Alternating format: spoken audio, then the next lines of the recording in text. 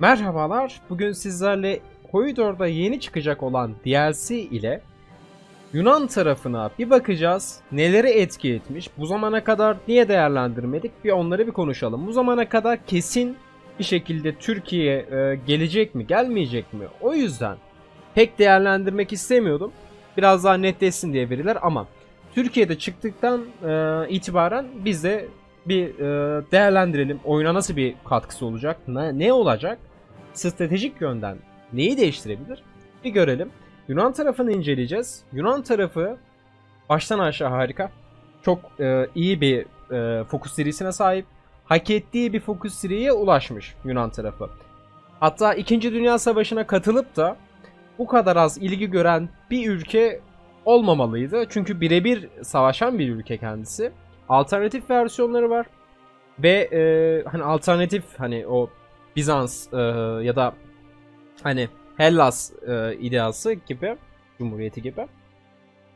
Onun gibi bir ideal seti de olan bir ülkeydi. Türkiye üzerine planları olan bir ülkeydi. Ve e, potansiyel olan bir ülkeydi. Yani biz bundan Bizans'ı kurmuştuk nasıl kurulur da.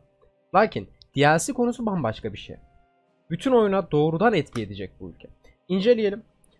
İlk başta e, başlangıç şeyleri var. Sprintleri var, Nation sprintleri. Onlara zaten girmeyeceğim. İlk başta girdiğimiz zaman e, liderimizle alakalı bir sıkıntımız var. Weekly Stability ve non-elegant e, bir artış var. Bundan kısa sürede yırtarız muhtemelen. 36'da seçime e, zorlanıyordu bildiğim kadarıyla. Bundan yırtarsınız ama yırtmanıza lazım bir an önce. Royal Puppet e, seçeneğinden. Seçimle ya da o e, başlangıç şeyini bir konuşuruz. Focus e, Tree son derece tatmin edici. Çünkü komünist, faşist e, taraf zaten belli hani. Genel olarak e, işe yarar bir e, şey var. Trisi var. Mesela hani e, ne diyebiliriz? Mesela İtalya gibi tek yönlü bir diğer şey değil. Focus Tree yok. Alman gibi hani Alman'a sonradan çıkan bir e, şey gibi alternatif birden fazla yol var. Bakın ilk başta kendi ideolojisini koruyarak gidebileceği bir yol varken faşist, komünist ve e, royalist yani krallık yönetimine de geçebiliyor. Cumhuriyette de kalabiliyor. Yani monarşist yolu zaten e, Megali Idea'yı açıp e, işte Türkiye'ye sevri zorlayıp ondan sonra da e, o Hellas dediğimiz o fotoğrafta da göreceğiz birazdan.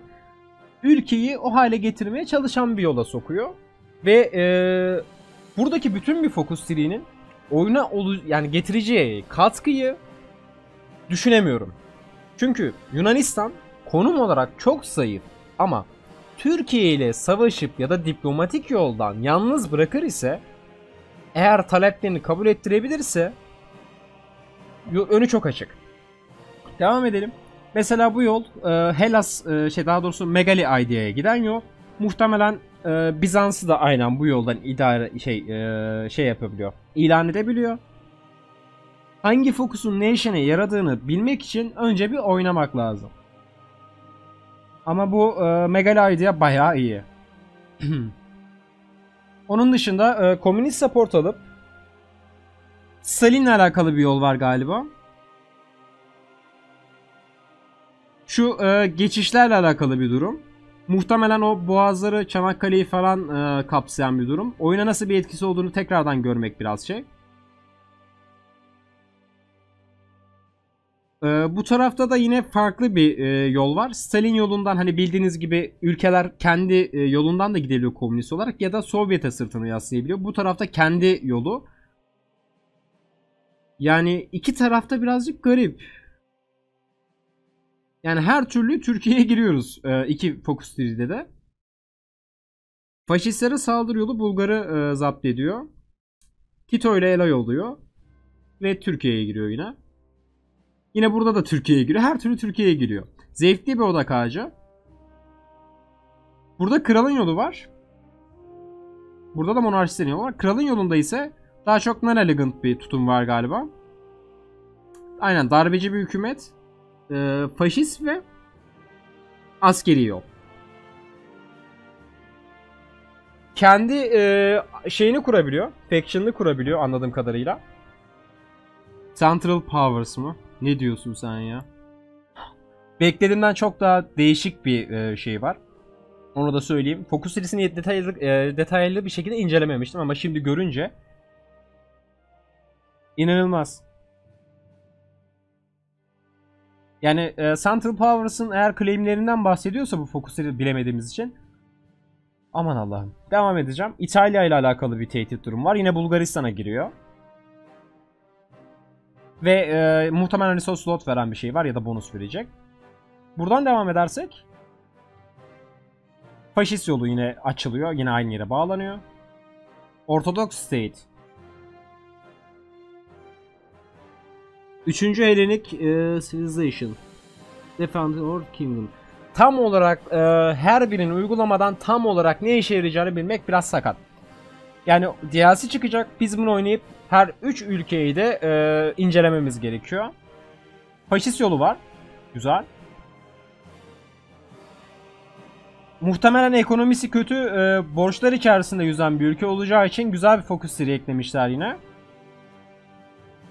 Ve ekonomiyi kaldır, e, kalkındırması gerekiyor. Orduyla alakalı yenilikleri de tek bir fokus seride birleştirmişler. Önce buna gideceksin sonra diğerlerine. Güzel. Beğendim. Gerçekten beğendim. Yine aynı şekilde hani e, birazcık hani ne tarafa doğru silahlanmanızı sizin seçtirmesini söylüyor. Yani Modern Warfare dediği muhtemelen e, şeylerle alakalıdır. Bu mekanize, motorize e, ve tank ordularıyla. Diğeri de daha çok e, piyade topçuya buff veriyordur diye düşünüyorum. Yine denizaltı ve muhtemelen destroyer fokusları vardır. Hellenic Air Force Destroyer Air Force ya bomber ya da fighter yoludur muhtemelen. Klasik bu e, artık sabit yani hani Sadece şurası değişiyor. Diğer her yer aynı kalıyor. Bunu bir türlü şey yapamadılar. Hani bir ülke özel yapamadılar. Ee, şu yol muhtemelen ekonomiyle alakalı. Tamam burayla işimiz bitti. Devam edelim. Bu da e, Decision. Yani anlayabileceğiniz üzere. Almanlar muhtemelen evet bize saldırdığı zaman 90 gün boyunca e, %5 atak veriyor bize ve %15 defans veriyor.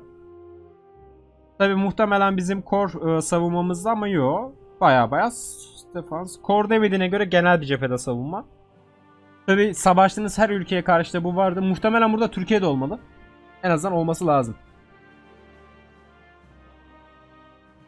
Buna zaten bakmıştık. Ee, borcumuz olduğunu söylemiştim. Bir göz gezdirmiştim. Mesela İngiltere'ye %100'lük bir finans verecek kadar bir borcumuz var. Ve hani bunu ödeme yöntemleri var. Gördüğünüz gibi ödeme yöntemlerinden birisi Customer Factories veriyor 15 ve Stability götürüyor. Bunları ödersiniz ya da ödememeyi tercih edebilirsiniz muhtemelen. Atıyorum faşist olursan bana ne senin borcundan diyebilirsin belki. Ee, ama dememek de gerekebilir. Büyük bir borçla başlıyor kesinlikle. Yine e, yeni getirmeye çalıştıkları mekaniklerden birisi Genelde bunu modlarda görürsünüz. Ee, Modern Day modlarında vardır bu. Hani sanayiyi nereden alalım der gibisinden. Kendi yerli sanayisi ve dışarıdan gelen bir sanayi olacak muhtemelen. Yeni bir sistem olduğu için çok fazla üzerinde uğraşmak, düşünmek istemiyorum. Görmeden oynayamayız. Yatırımcılarla alakalı bir durum var. Muhtemelen e, Alman yatırımcıları, İngiliz ve e, Fransız yatırımcılar ülkemize çekmek istiyoruz. Ya da ülkeyi her neyse. Gelin bize yatırım yapın. Vesaire. Yine government'la alakalı bir şeyler bir şeyler anlatmış. Parlamento krizi olacak muhtemelen. 1936'da ya kralın e, indiği bir senaryo yapacaksınız ya da krallı bir yol yapacaksınız. Bu da dolaylı olarak fokus ağacınızın kaderini belirleyecektir. Yine e, evet Türkiye ile olan bir durum var. Galiba Türkiye ile işbirliği de var. Evet faşist olursanız Türkiye ile işbirliği de yapabiliyormuşsunuz. Garip. Güzel olabilir. Gayet iyi. Yine Focus'a devam ediyor. Biz hepsini konuşmuştuk. Kral yolunda muhtemelen ee, ikinci George geldiği zaman stability kötü. Çok kötü.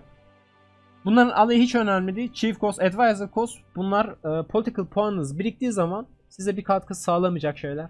O kadar önemli şeyler değiller. Stability bu oyundaki en önemli şeylerden birisi. Stability size darbe yedirtir. Ondan sonra kolay düşmenizi sağlar. Çünkü dolaylı yoldan Warsapor'da da etkilidir. Üretiminizi etkiler. Vesaire vesaire. O yüzden Stability götürmesi kötü. Muhtemelen bu yol birazcık sakat bir yol. Yine kendi İspanya'yı savaşına benzer bir durum ama daha doğrusu e, yine modlarda karşımıza çıkan bu loyalty e, muhabbeti var. Monarşistler, republikler, komünistler ve faşistler arasında bir e, denge gütmemiz lazım. Atıyorum birisine iyi yaklaşırken diğeriyle aran muhtemelen düşecektir. Mesela komüniste dayadın sırtını ama faşiste düşecektir. Hostile efekti e, hani eksi 15 veriyorken sıfırda hiçbir etkisi yoktur. Artı 1 alınca muhtemelen o buff artacaktır. Mesela monarşistler bir buff aldığı zaman stability ve recruitable population almış. Ama karşılığında ne verdiğimiz önemli çünkü bu bufflar bayağı kuvvetli bufflar. Bunu bir şekilde yırtmamız lazım ama nasıl yırtacağımız yine oyunun kendisine gizli. Advisor'lara bir yenilik var galiba. Aynen. Teşhiniz durumlara göre farklı advisor'lar geleceğini söylüyor. Kısacası. Yine çok güzel bir odak ağacının devamı. Mesela Yugoslavya tarafına genişleyeceğiniz bir fokus ağacından hani e, Yugoslav tarafına genişleyeceğiniz fokus ağacının getireceği şeyleri gösterilmiş muhtemelen. Yazıları hiç okumayacağım zaten anam şey o kadar da anlamlı bir şeyler yok. Yani net bir bilgi yok. Hani şunu şöyle yapmak istedik, bunu böyle yapmak istedik. Gerek yok. Muhtemelen e, muhtemelen değil baya baya o border e, sınır çatışmaları göreceğiz. Kazanırsak e, toprak alabiliriz ya da atıyorum kazanırsak serve zorlayabiliriz gibi şeyler olabilir. Çünkü aşağıda e, Sevr Anlaşması'nın gerekliliklerinden söz etmemiş adam akıllı.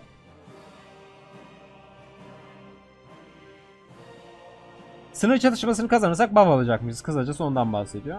Yine fokus ağacından. Bunun oyuna getireceği e, etkiyi bilmek biraz güç.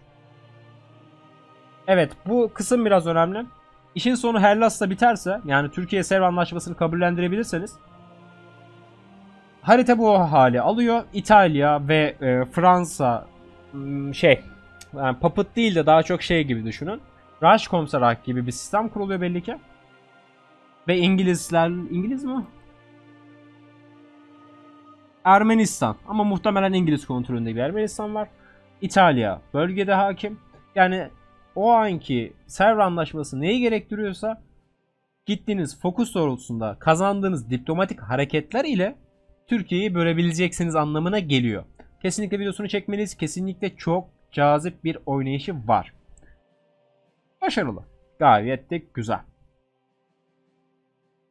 Bizans'ı da kurması o kadar zor değildir. Ee, ki en sonunda Bizans'a dönüştüğü zaman e, renginin de değişeceğini koymuşlar öyle.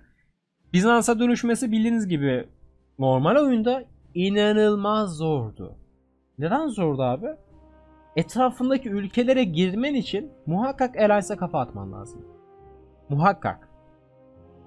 Ve e, Alliance Karadeniz'e yani 50-60 bin gücünde bir donanma getirebiliyordu. İngiliz e, o kadar gemi korumuyor. O yüzden söylüyorum.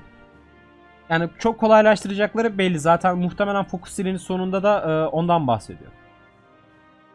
Atladığım, göremediğim şeyler muhakkak vardır ama ben oyunu alıp kendim oynamadan, mekanikleri tam olarak kendim incelemeden net bir şekilde hiçbir konu hakkında hala da görüşmek istemiyorum. Ee, daha doğrusu görüş belirtmek istemiyorum. En mantıklısı hala daha DLC çıkıp Yama notları da değişebilir, buff alabilir, buff gidebilir. Bakın bu oyunda çok ıı, fazla şey oluyor. Yani çok fazla güncelleme oluyor. İnanın piyadelerin soft atağı bile günümüze kadar çok fazla kez değişti. Fokuslar mı değişmeyecek? Değişecektir. Türkiye'nin kabul etme oranı bile değişebilir. Kesin bilgi, kesin oynayış, kesinlikle DLC çıktığı gün olacaktır. Şu ana kadar konuştuğumuz her şey boş bile olabilir dostlar. Umarım anlatabilmişimdir. Yunan Focus serisi böyleydi. Çok güzel ve çok iyi bir oynayış sunacağını söylemek mümkün. Özellikle Türkiye'yi parçalama, Sovyetlerle işbirliği ve Bulgar e, pekti. Hatta Central Pe pekti inanılmaz iyi. Şurada da kendini e, 300 Spartalı şeyini koymuşlar. İnanılmaz iyi tamam. Yani deneyip görmek lazım. Yine DLC merakla bekliyoruz. Umarım gelir de yakın zamanda dünya kadar video çekeriz bununla. Görüşmek üzere efendim. Kendinize çok iyi bakın. İzlediğiniz için teşekkür ederim.